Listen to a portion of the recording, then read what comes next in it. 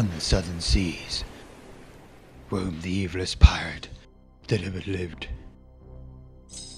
Hell bent on plunder, death, and misery.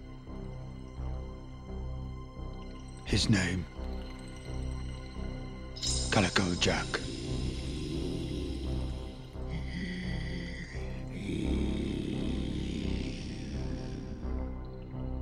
In his way stood his nemesis, Charlie Jack, the pirate, the brave, the good.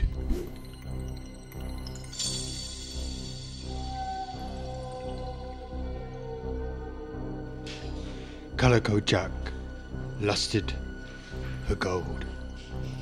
He needed it until it filled his votes.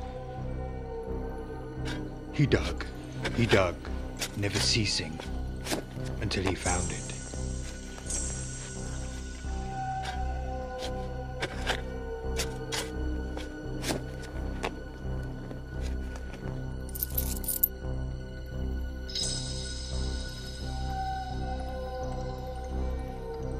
Charlie Jack, the brave, took Calico's love.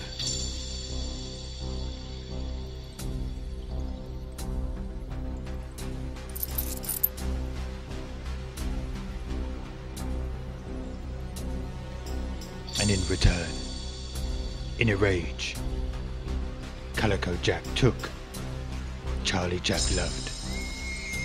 Pretty baby.